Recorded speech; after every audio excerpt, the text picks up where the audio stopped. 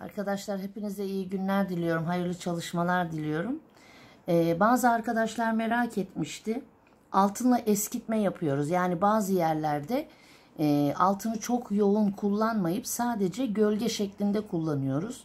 Eskitme formunda kullanıyoruz. Altınla eskitmeyi nasıl yapıyoruz onu göstermek için. Şimdi kırmızı altınımızla bilhassa tercihim kırmızı altın oluyor. Çünkü zeminde daha net görünüyor arkadaşlar. Gördüğünüz gibi şuradaki alanda jelatinli suyumu bol bir şekilde sürdüm. Ama altını alacak olduğum ayar daha üst kısmında. Yani direkt bunun içerisinde bir karışım hazırlamıyorum. Şu görmüş olduğunuz üst kısmında hazırlayacağım. Merak eden arkadaşlar için sentetik fırçamız Winsor Newton Kotman 3 serisinin 6 numarası. Şimdi fırçamın ucuna jelatinli suyu aldım.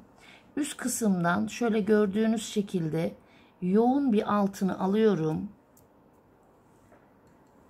Şöyle göstereyim size de. Fırçanın ucunda bakın altın var. Şimdi buradaki alanda sınır çizgimiz vardı. Sınır çizgimizin olduğu yerden kalın bir şekilde kırmızı altını öncelikli olarak sürüyorum.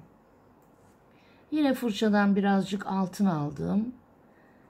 Dendanlarımızın hemen sınırının olduğu yerden biraz yoğun ama gene sulu şekilde bir görüntüye sahip altını aldım. Buradaki alanda sınırı yaptım. Şimdi altınım kurumadan kenarda altınımı bırakıyorum. Hemen şöyle peçeteyi koyalım. Altınımızı yan tarafta fazlasını bırakıyoruz. Fırçamızı yıkadık. Ucunda bakın şöyle gösteriyorum. Temiz görüntüsünü. Şu kısımdan birazcık fırçamızı nemli bırakarak içeriye doğru da altını sınırdan itibaren içeriye doğru iç kısma doğru çekerek bakın gölgelendirme yapıyorum. Kenarda yoğun bir şekilde altınım var. Fırçayla seri bir şekilde kurumadan hızlı hareketlerle hemen bu bölümden aşağı doğru alt kısma doğru sınıra doğru iniyorum. Hemen şu kısmı da bir toplayalım köşede. Sonra devam edeceğiz nasıl olsa o bölümden. Fırçayı gene burada yıkayalım. Ve şu şekilde hafif iniş yapalım kenarına çünkü onun tekrar yoğun altını sürmemiz gerekiyor bu tarafa da. Şimdi ekranda da görüneceğiniz gibi dip tarafa koyduğum bakın koyu altın daha koyu bir görüntüde devam ediyor. Ama iç kısma doğru tonlu olarak açılarak tesipli olan bölgeye doğru bir geliş yapıyor. Ki bu çalışmanın üst kısmınızı üst kısmına düz trilinle çizgiler çekip kareler oluşturup karelerin de ortasına noktacıklar koyacağız biz. Ama tabii ki o ne zaman? O daha sonraki zamanda. Şimdi ekranda gördüğünüz görüntüyü elde ettik. Levhamızın bütün dendanlı bölgelerinde aynı eskitme işini yapacağız.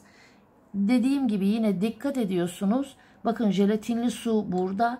Ben fırçamı nemlendirip üst kısımdan altını fırçaya yükledim ve kenara ilk önce ıslak bir şekilde hafif sulu bir biçimde kenar hattından geçip fırçayı temizledim.